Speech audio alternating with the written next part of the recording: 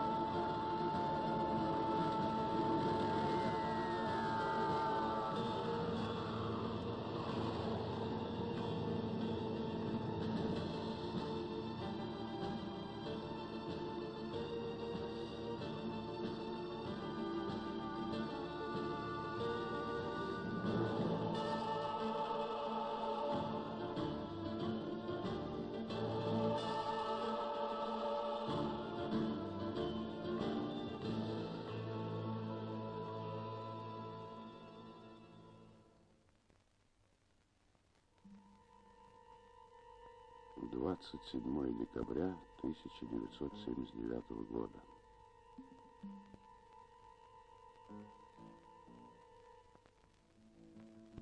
Здесь находилась резиденция Хафизулы Амина.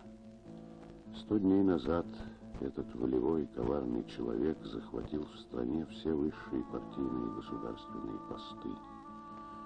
Афганистан к тому времени уже был объят гражданской войной. Амин умолял Москву о помощи.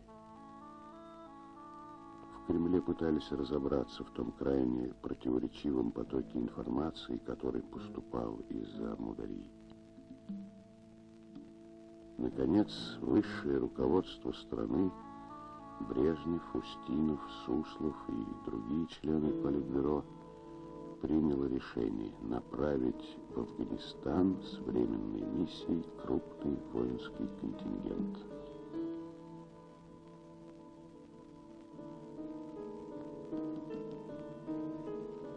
Оказавшись в Кабуле, наши войска, вопреки всякой логике, первым делом бросились на штурм этого дворца.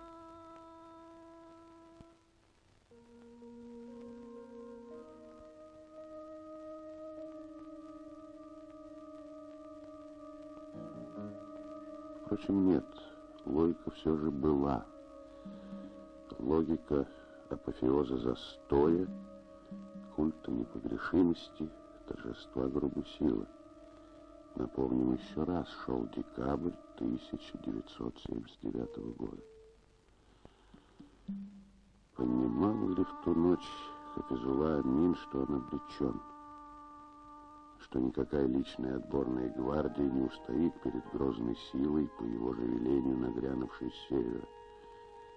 Может быть, вспомнил жертву террора, развязанного им против товарищей по партии, против священнослужителей, против народа. Может быть.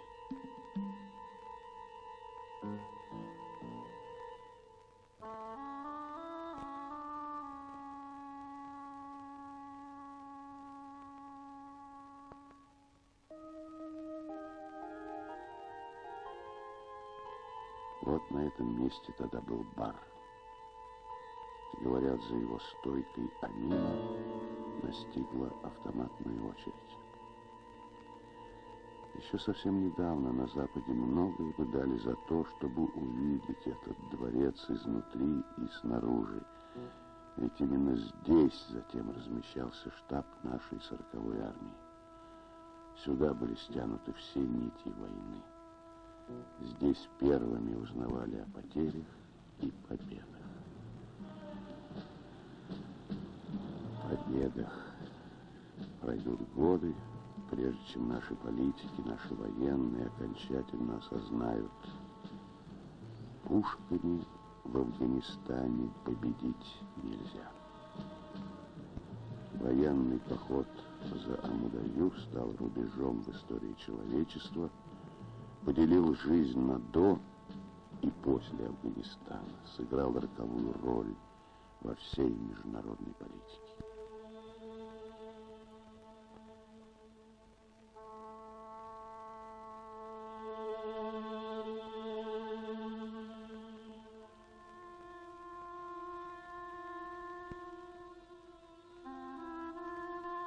Сердце Азии.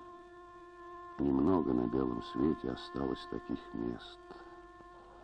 Богатые туристы с Запада приезжали сюда, привлекаемые возможностью как бы совершить путешествие во времени, назад, в средние века.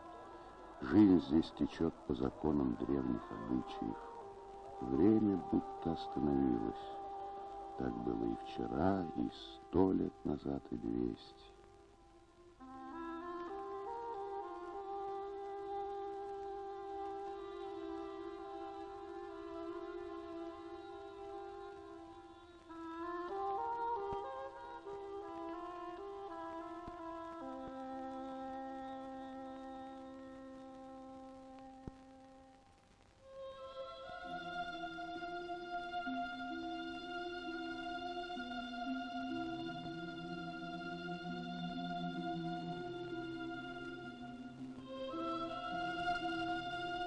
Сказочная, непостижимая для чужестранца земля. Она согрета яркими солнечными лучами, причудлива архитектура городов.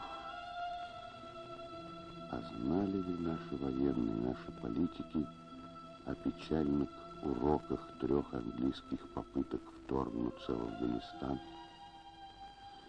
Владевшая доброй половиной земного шара, Великобритания споткнулась о таинственный характер афганцев, об их твердость, их веру.